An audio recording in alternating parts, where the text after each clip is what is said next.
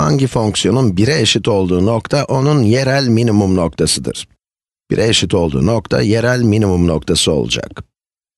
Pekala, şimdi bunu bir düşünelim. Bize x'in aldığı değerler verilmiş. x eksi 4 ile artı 4 arasında değerler alıyor. Gördüğünüz gibi x'in aldığı değerler artıyor.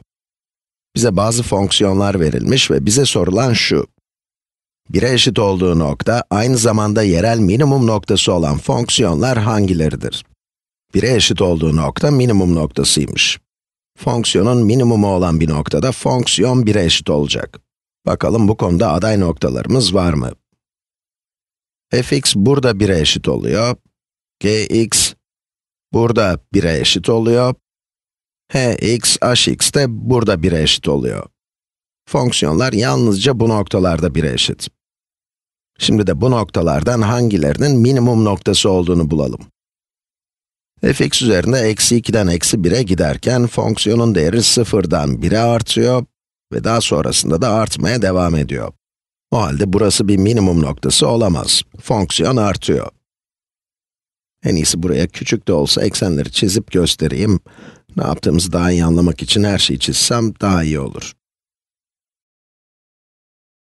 Eksi 4, eksi 3, eksi 2, eksi 1, 1, 2, 3, 4 ve yine burada ortada 0.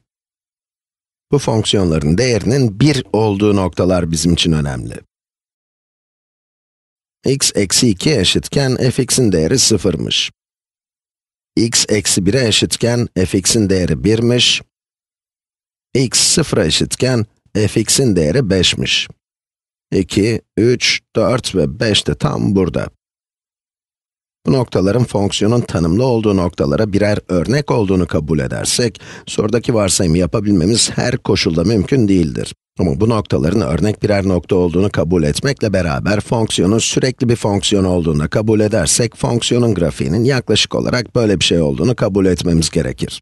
Bunun bir minimum noktası olmadığı apaçık görülüyor. Fonksiyon 1'e doğru giderken artıyor, o halde burası bir minimum değildir. Şimdi de gx'e bakalım. gx 1'e eşitken 2 noktasındayız. gx 2'ye eşitken 1 noktasındayız. gx eksi 1'e eşitken de 3 noktasındayız. Bu fonksiyonda da tam tersi oldu. Fonksiyonun değeri 1 olduğunda fonksiyonumuz o değere doğru azalarak yaklaşıyor ama daha sonra da azalmaya devam ediyor. Bu noktanın bir minimum olabilmesi için o noktaya kadar azalması ve o noktadan sonra artması gerekirdi. Bu nedenle bu noktada bir minimum noktası değildir. Şimdi de hx'e hx'e bakalım.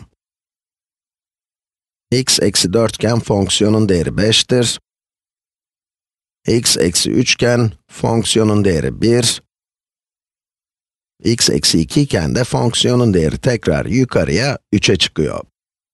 O halde burası bir minimum noktasıdır. Bu noktaya gelirken fonksiyonun değeri düştü ve noktadan uzaklaşırken yeniden arttı. Demek ki burası yerel bir minimum noktası. Fonksiyonumuz sürekli fonksiyonsa, grafiği de yaklaşık olarak şöyle bir şeydir.